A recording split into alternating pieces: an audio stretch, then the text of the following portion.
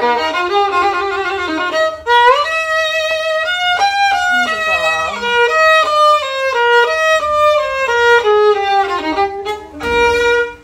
그 땀이 많이 나서 민들어봐 운동했어? 어? 어? 감정이 어